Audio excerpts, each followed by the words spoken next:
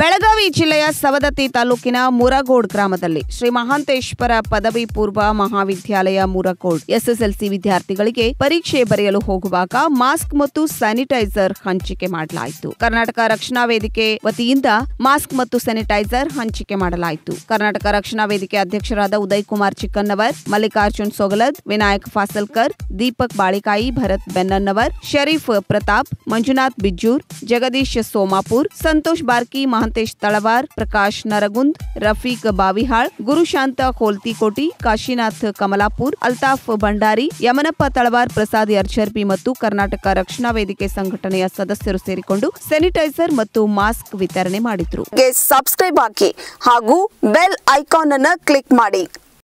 ವೀಕ್ಷಕರೇ ನಮ್ಮ ಸತ್ಯಂ ವಾಹಿನಿಯ ಪ್ರತಿದಿನದ ಅಪ್ಡೇಟ್ ಮಾಹಿತಿಯನ್ನ ತಿಳಿದುಕೊಳ್ಳಲು ಸತ್ಯಂ ಟಿವಿ ಕನ್ನಡ ಯೂಟ್ಯೂಬ್